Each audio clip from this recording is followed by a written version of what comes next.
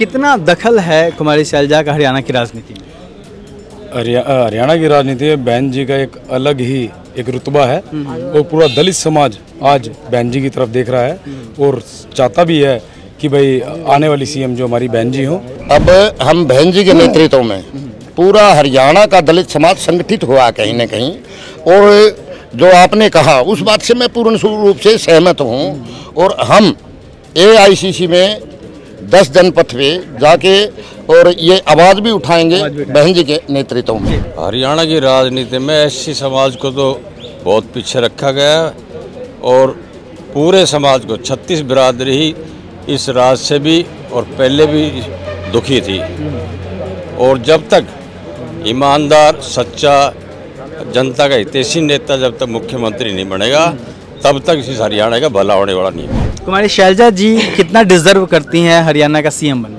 बहन शैलजा जी तो प्रधानमंत्री भी बढ़ा दी जाए तो देश का भला हो जाए और पर, प्रदेश की मुख्यमंत्री बढ़ा दें तो इस प्रदेश की छत्तीस बिरादरी सर्व समाज इतनी खुश और इतना न्याय मिलेगा कि सदा सदा के लिए बहन जी को याद मतलब हर समाज में वो लोग प्रिय हैं समान रूप से। बिल्कुल सर्व सभी वर्गों को साथ लेकर चलती है बहन जी। जब तक हरियाणा के नब्बे विधानसभा क्षेत्र में बहन शैलजा कुमारी जब तक नहीं घूमेगी तब तक कांग्रेस पार्टी को भारी बहुमत नहीं मिलेगा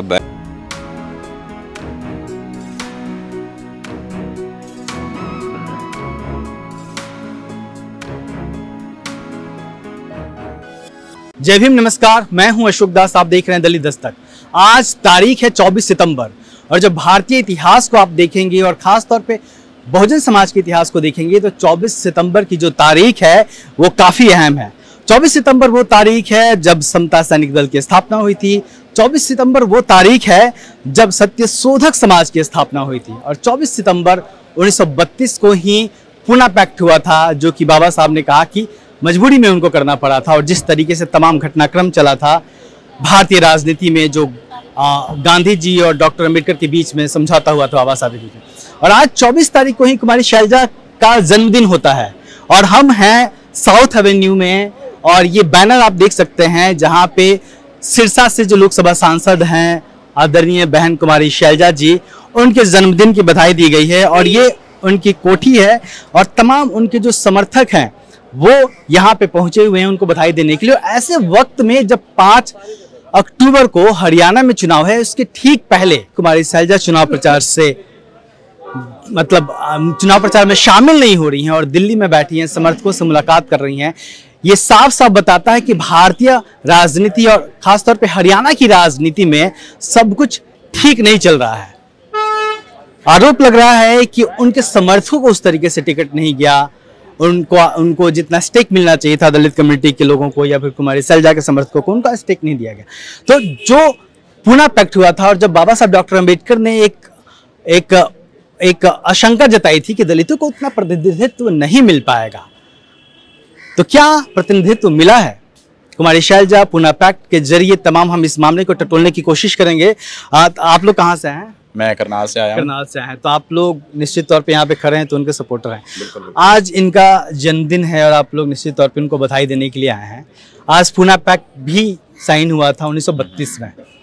तो पुणे पैक्ट का जो बाबा साहब चाहते थे कि दलितों को प्रतिनिधित्व मिले राजनीति में और अभी जब बात हो रही है कि कुमारी शैलजा के समर्थकों को उतना टिकट नहीं मिला हरियाणा में जिसकी वजह से वो कहीं ना कहीं नाराज़ हैं और दिल्ली में बैठी हैं जबकि इनको हरियाणा में होना चाहिए था।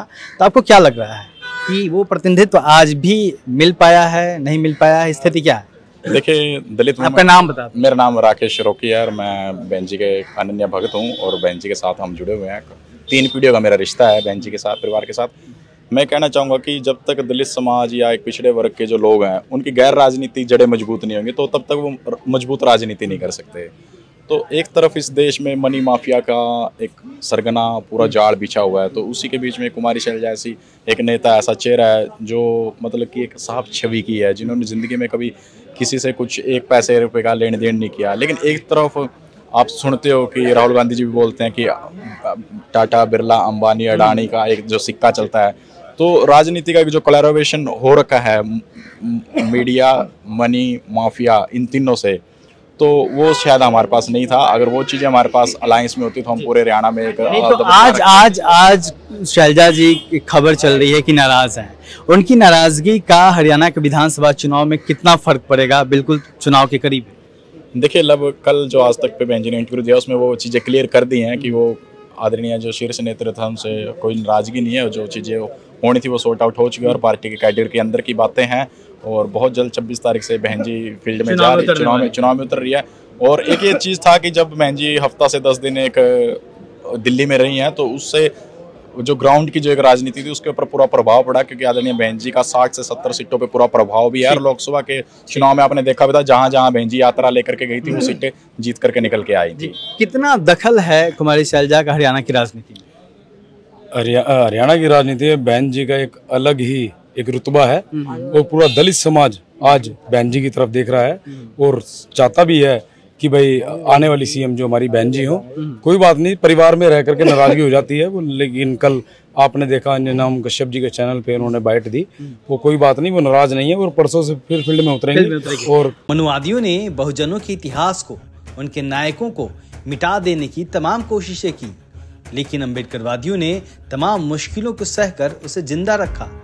बहुजन कैलेंडर 2025 के ज़रिए हमने भी बहुजनों के संघर्ष और इतिहास को सहेजने का काम किया है, क्योंकि कैलेंडर सिर्फ़ तारीख नहीं बताते, इतिहास भी बताते हैं। तो आज ही ऑर्डर करिए 2025 का बहुजन कैलेंडर। बुकिंग शुरू है। ऑर्डर देने के लिए WhatsApp number nine seven one one triple six zero five six पर मैसेज करें या Dalit Dastak at the rate of Gmail dot com पर ईमेल करें।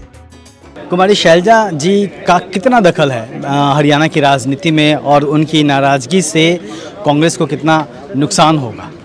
बहुत नुकसान होगा अगर ऐसे ही अनदेखी करेंगे। लेकिन जैसे ही कल बहन शैलजा जी का बयान आया है, उससे लोगों में राहत की एक खबर आई है और आने वाले टाइम में। पचहत्तर पार जैसे ही बहन जी की स्टेटमेंट आई है कल से तो हरियाणा में, पूरे हरियाणा में फिर से हमारे दलित समाज के लोग एक तरफा कांग्रेस को समर्थन कर रहे हैं और आने वाले टाइम में कांग्रेस की सरकार बनेगी। 1990 में वो राजनीति में सक्रिय हुई थी। तब से तकरीबन 35 साल पूरे हो गए। इन साढ़े तीन दशकों में हरियाणा की राजनीति काफ़ी बदली लेकिन कुमारी शैलजा जो बार बार कह चुके हैं कि वो प्रदेश में काम करना चाहती हैं प्रदेश के लोगों के लिए काम करना चाहती हैं उनको वो मौका मुख्यमंत्री पद का चेहरा कांग्रेस पार्टी ने क्यों नहीं बनाया है अब तक? दिक्कत कहाँ आ रही है? कहीं ना कहीं हमने जैसा देखा है, हम भी भी राजनीति में गरीब घर से उठे हैं। कहीं ना कहीं हमने भी देखा है कि दलितों की आवाज़ को दबाया जा रहा है। और हमारी आबादी हरियाणा में 22.5 के लगभग पहुँच चुकी है। और हम दलित चेहरा कांग्रेस पार्टी को देना चाहते हैं। हमारे पास मज़बूत नेता बहन कुमारी सैलजा है। और हाईकमान से मेरी तो यही प्रार्थना है कि बहन कुमारी शैलजा जी को लोगों के बीच में भावी मुख्यमंत्री के तौर पर सामने लाया जाए। अच्छा हरियाणा में एक बड़ी आबादी है दलित समाज की। लेकिन वहाँ पे जो लंबे समय से एक मांग की जाती रही है कि इस समाज का आदमी सीएम बने वो क्यों नहीं हो पाया? दिक्कत कहाँ आ रही है? देखिए मैं अपना परिचय दे दूँ सुरेश मात्र श्याम वाल्मीकि हल्का आदमपुर हिसार। ऐसा है जाति है कि जाति नहीं। ये फैक्ट काम करता है। और जैसा कि आपने अभी देखा फ़िलहाल वर्तमान समय में बहन जी ने एक नारा दिया था भी हम क्यों नहीं? और उसका असर आज आपने देखा। कितनी वीडियो बहन जी के खिलाफ आई है और टिकट वितरण में बहन जी के साथ कैसा बर्ताव हुआ है। तो ये चीज़ें हैं तो हमें संगठित होकर लेकिन और बहन जी के साथ एक बात बताइए आपने खुद कहा कि टिकट वितरण में जिस तरीके से बात आई है बहन जी ने नारा दिया था। तो आखिर जो नेतृत्व है जो सेंट्रल लेवल पे है लगातार राहुल गांधी जी कहते रहे हैं कि हम रिप्रेजेंटेशन दिलाएँगे दलितों को ओबीसी को एसटी को उसकी आबादी के हिसाब से। पूरे समय लगातार वो यात्रा के दौरान यही बात करते रहे हैं। तो फिर हिस्सेदारी वो हरियाणा में क्यों नहीं मिल पा रही है? अब हम बहन जी के नेतृत्व में पूरा हरियाणा का दलित समाज संगठित हुआ कहीं ना कहीं।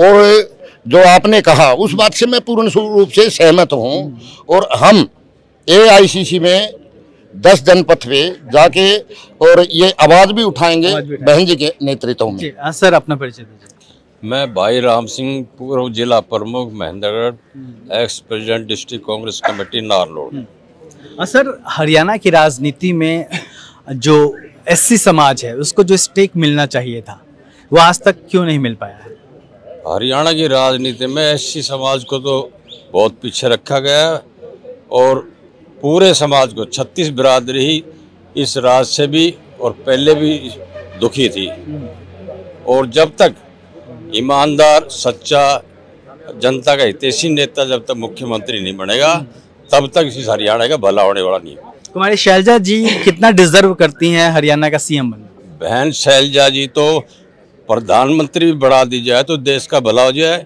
और पर, प्रदेश के मुख्यमंत्री बढ़ा दे तो इस प्रदेश की छत्तीस बिरादरी सर्व समाज इतनी खुश और इतना न्याय मिलेगा कि सदा सदा के लिए बहन जी को याद मतलब हर समाज में वो लोकप्रिय हैं समान रूप से। बिल्कुल। सर्व सभी वर्गों को साथ लेकर चलती है बहन जी और छत्तीस बिरादरी को की सर्वमान्य नेता है हरियाणा की। तो सर जब सभी बिरादरियों में वो जब जनरल जाति से हैं। जब सभी बिरादरियों में वो समान रूप से मेरा सवाल आ जाने दीजिए फिर आप अपनी बात कहिएगा। समान रूप से जब लोकप्रिय हैं, तभी जो एक बयान आया था, राह चलते, जिसको लेके काफ़ी देश भर में विवाद हुआ था और तमाम दलित संगठनों ने, नेताओं ने, जो कांग्रेस के हैं या नहीं हैं, उन्होंने खिलाफत की थी, आवाज़ उठाई थी कि ऐसा नहीं होना चाहिए। और अगर ऐसा हुआ तो फिर इनके सम्मान को लेकर कांग्रेस पार्टी को कुछ करना चाहिए, उस तरीके से एहसास दिलाना चाहिए। तो वो क्यों नहीं हो पाया? हम नहीं मानते कि ऐसी कोई बात थी। और बहन जी को दलित की नेता नहीं ये पूरे छत्तीस बिरादरी की नेता। हम मेरा नाम राजेश श्रीवास गोरखपुर से मौजाट समाज से बिलोंग करता हूँ। और फतेहाबाद डिस्ट्रिक्ट के अंदर मैडम ने ही तीनों टिकटें बांटी है। और तीनों की तीनों टिकटें मैडम को जिता के भेजेंगे। अट्ठाईस तारीख को मैडम की वहाँ फतेहाबाद के अंदर बहुत बड़ी जनसभा है। लेकिन जाट समाज का जितना एक सिक्का चलता है हरियाणा की राजनीति में और कहीं ना कहीं देखने को मिलता है कि जो कांग्रेस का आला कमान है वो भी कहीं ना कहीं उसके साथ खड़ा रहता है। उतनी मजबूती से वो ये क्यों नहीं दिखता कि कुमारी सैलजा के साथ खड़ा रहे? ऐसी कोई बात नहीं है। जाट समाज भी मैडम के साथ में है और पूरी कांग्रेस के साथ में है। और ऐसा कभी भी कहीं भी नहीं है व किसी प्रकार में कोई देखी गई हो। कुछ टिकटों की बातें ऐसी थी कुछ कैंडिडेट्स जो होते हैं जो मतलब उनका फीडबैक सही नहीं आया। इसलिए कोई टिकट कटी को नहीं जो, जो मैडम ने कहा वो टिकट मिली जितना वो कैंडिडेट मेरिट के आधार पर हाईकमान ने टिकट दी है। और सौ प्रतिशत साठ प्लस सीटें आएगी और कांग्रेस का राज बनेगा। अच्छा हाँ क्या स्थिति होगी हरियाणा में? हरियाणा में अच्छा माहौल है और बहन जी के कल बयान से एक कार्यकर्ताओं में वो सीटों की स्थिति क्या होगी? सीटों की स्थिति जो है साठ से पैंसठ सीटें कांग्रेस पार्टी जीतने के फेवर में है और साठ से मेजोरिटी आ जाएगी। मेजोरिटी आ जाएगी और मेजोरिटी जब आएगी तो देखना कि इस कोठी के ऊपर भी बम पटाखे बजेंगे और ढोल बजेगा। जी। तो तो कहीं ना कहीं ये तमाम राजनीतिक जी। जब तक हरियाणा के नब्बे विधानसभा क्षेत्र में बहन शैलजा कुमारी जब तक नहीं घूमेगी तब तक कांग्रेस पार्टी को भारी बहुमत नहीं मिलेगा। बहन जी अगर घूमेंगी तो सत्तर अस्सी सीट तक भी हरियाणा में कांग्रेस पार्टी की ग्यारह तारीख को लास्ट मीटिंग की थी उन्होंने फिर 26 को उतरेंगी बीच में पंद्रह दिन का गैप आता है। इस पंद्रह दिनों में कांग्रेस का नुकसान हो गया क्या? बहुत बड़ा नुकसान हुआ है। बहन जी के जितने भी चैते थे वो सब चुपचाप बैठे हैं।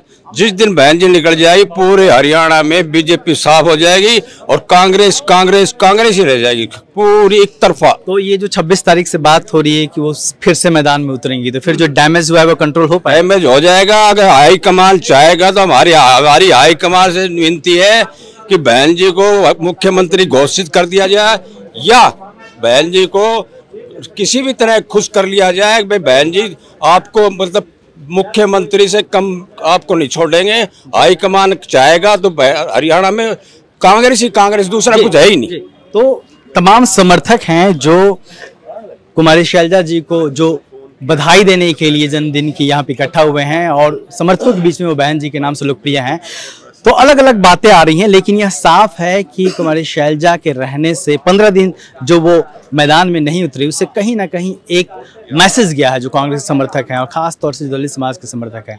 और इसका खामियाजा अगर वो जल्दी से चुनाव मैदान में फिर नहीं उतरती हैं तो कांग्रेस को कहीं ना कहीं भुगतना पड़ेगा।